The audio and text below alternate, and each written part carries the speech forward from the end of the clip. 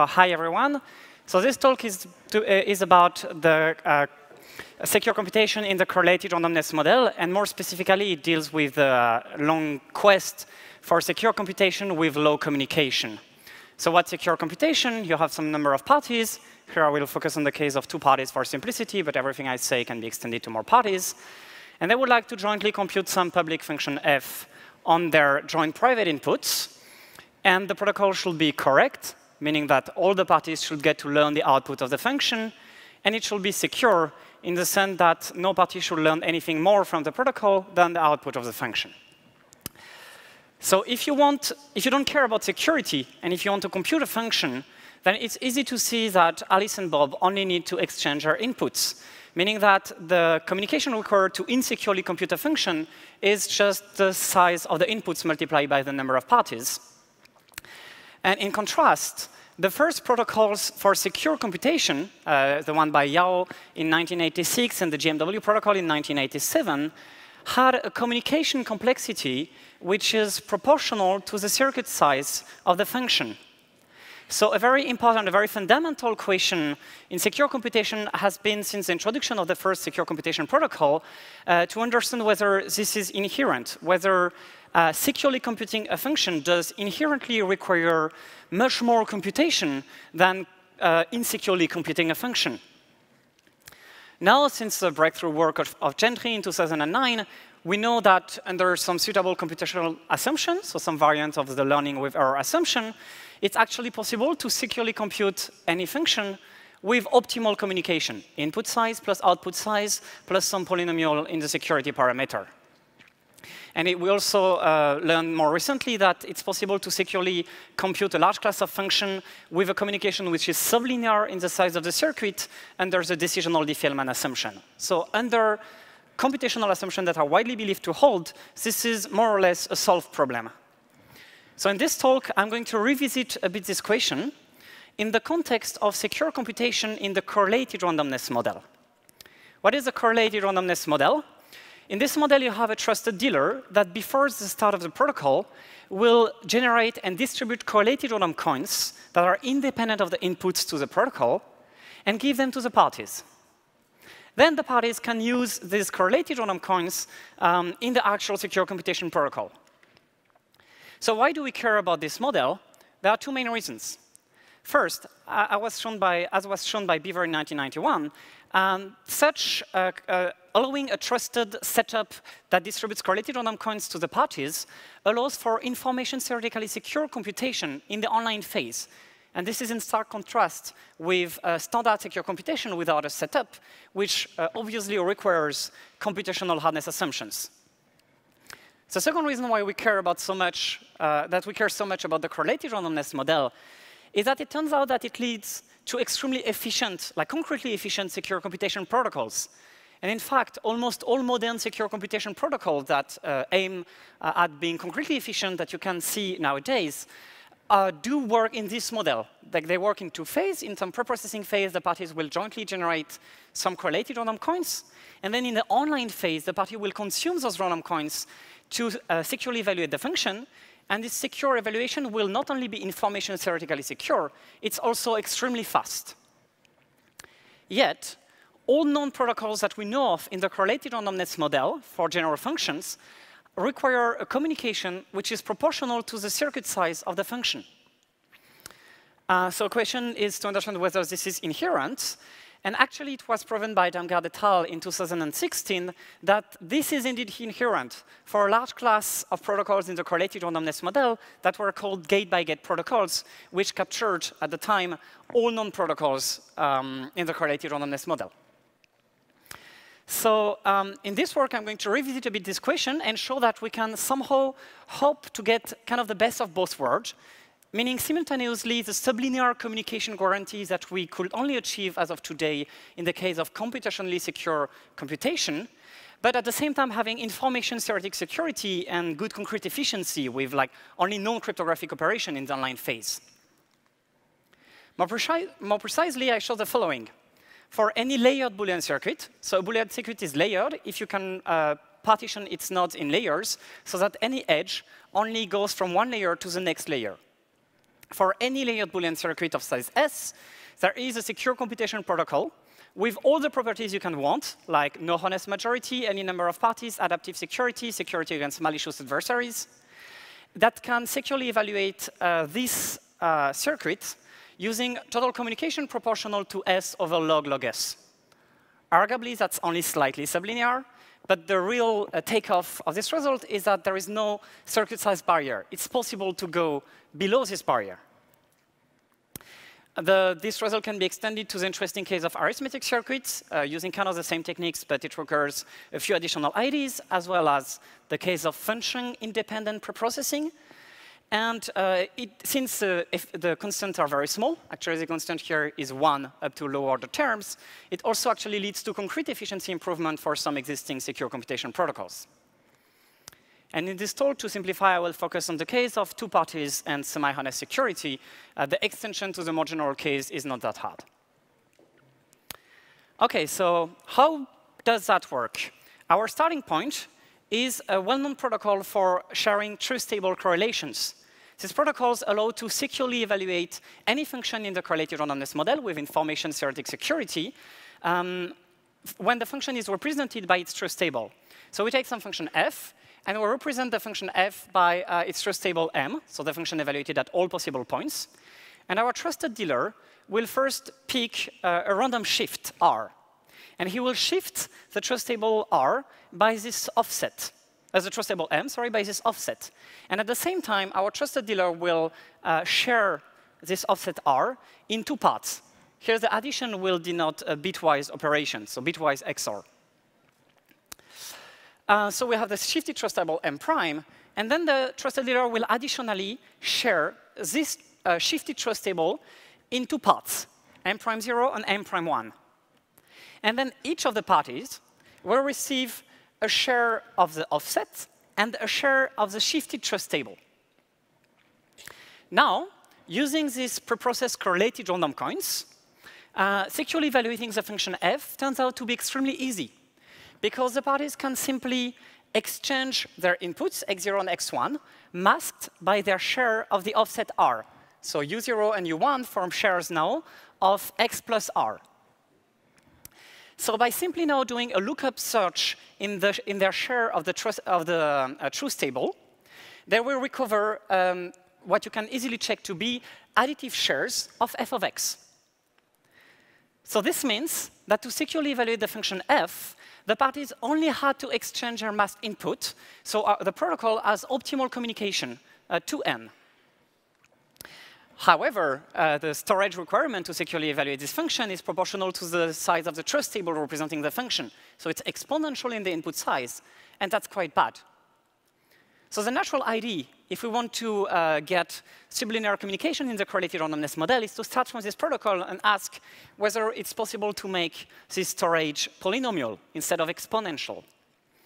Turns out that it's unlikely to be easy, because it was proven in 2013 that if we could achieve a polynomial storage uh, for securely evaluating any function, then that would imply a breakthrough result uh, for some long-standing open problem related to the study of information theoretic private information retrieval.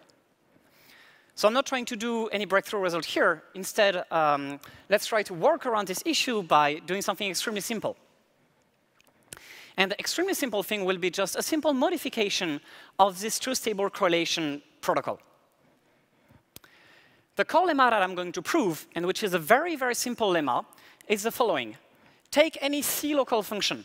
What's a C local function? It's a function such that any output bit depends on at most C input bits. So you can see that the function as being um, concatenation of functions f1 to fm, each of them being applied to a size C subsets of the input bits. Then there is a protocol that securely evaluate uh, that securely allows to evaluate to obtain shares of the function with perfect security in the correlated randomness model. Whereas the communication is again optimal, big O of n, the input size, but where now the storage requirement is m times 2 to the c plus n. Compared to the previous protocol, what we've done is just shifting the exponential cost of the storage requirement from the input size to the locality parameter. So how do we do it? It's pretty simple. Intuitively, uh, since a function only operates on subsets of size C of the inputs, instead of looking at the big truth table of the entire function, you, you can look at the list of truth tables for each of the output bits of the function, for each of the partial functions. Because each of these partial functions is a function on inputs of size C. So each of these truth table only has size 2 to the C. So what we can do is just apply the previous protocol in parallel for each of the output bits. Um, and then the trusted dealer will generate those shares and those shifts. Now we get a protocol where the storage is just m times 2 to the c, up to some uh, additive thing. But now the communication has increased, because for securely doing all those protocols in parallel, we need now 2c bits of communication for each of the m output bits. And this is too big, actually. That's more than the big O of m communication that I claimed that we could have. So the next idea is that we can go back to this uh, communication proportional to n by uh, not using independent shifts for all those m trust, uh, um, for all those m uh, truth table. Instead, the trusted dealer will only pick a single global offset r, and those R1 to Rm will not be defined as independent offset, but as appropriate subsets of the bits of this single global offset, where the subset are the subset S1 to Sm, corresponding to the subset of the bits that you need to take to compute the function. If you do so, then the parties now only need to exchange x0 plus r0 and x1 plus r1, and intuitively, uh, applying the uh, M protocols in parallel only requires to take some appropriate subset of the bits of those masked inputs. And the security is easy to prove, so we um, with this variant of the protocol, um, we obtain essentially the, exactly the same communication as before. But the correlated randomness now is a bit different, and we can still prove the protocol to satisfy perfect security. So this is what I call the core lemma. As you could see, a very simple lemma. You can have optimal communication and a cost exponential in the locality, locality parameter of the function. Uh, let's see why this is useful uh, for the question at hand. So as I told you, the result uh, that we prove shows that we can securely compute with uh, sublinear communication any layered Boolean circuit. So let's look at the layered Boolean circuit. The nodes can be partitioned into layers. The edges go from one layer to the next layer. And we will uh, partition these, um, this function into chunks. Each chunk will contain k consecutive layers. And we will uh, look at like some selected node on the last layer of a chunk and see this selected node, like the value computed on this node, as a function of the value computed on the last layer of the previous chunk, together with the input nodes of the same chunk. Let's ignore them for now. So intuitively, um, the obvious observation here is that since uh, a graph representing the circuit as in degree 2, then the selected node can only have 2 to the k ancestors if you go k layers above. So uh, phrased in terms of locality, the function that maps the values on the last layer of a chunk to the values on the last layer of the next chunk is a 2 to the k local uh, function with w inputs, where w is the width of our, um, of our Boolean circuit. So we have a local function.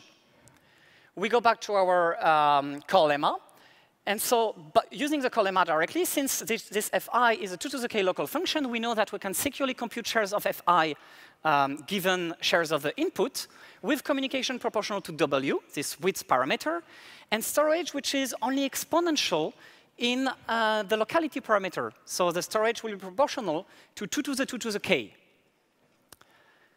What follows is quite easy.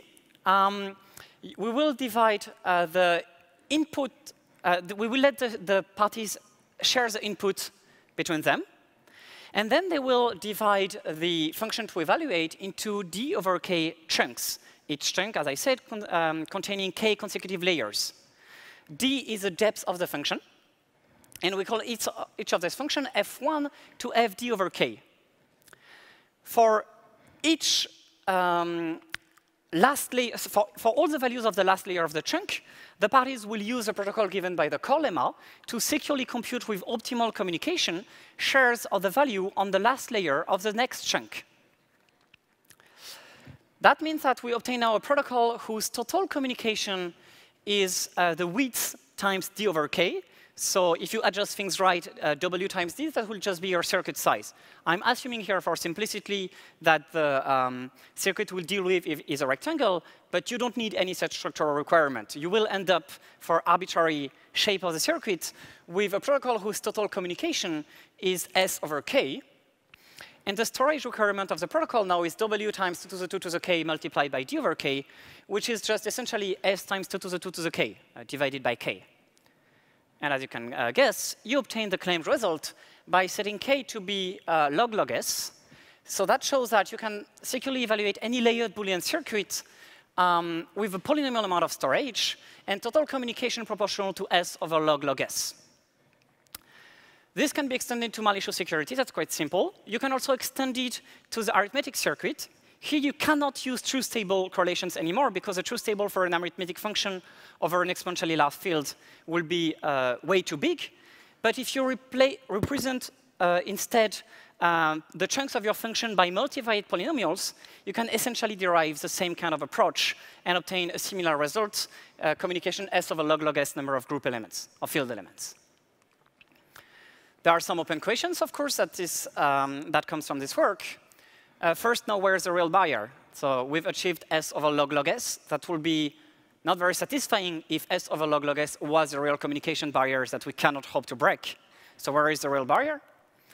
Uh, is it possible to get sublinear communication uh, and still linear computation? Because the protocol I gave here has a computation which is quadratic in the size of the circuit. And it can be reduced to slightly superlinear in the size of the circuit, but linear uh, is not something we can achieve here. So can we achieve linear computation and sublinear communication? And is it possible to remove this layered circuit requirement and extend the result to all circuits? And that's all. Thank you for your attention.